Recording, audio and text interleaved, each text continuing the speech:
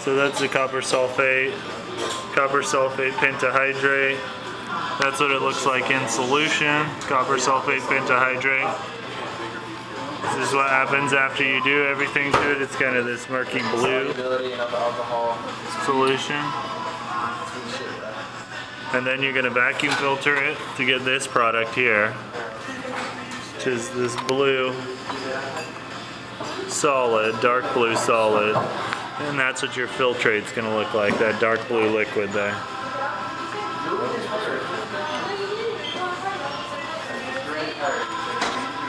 So,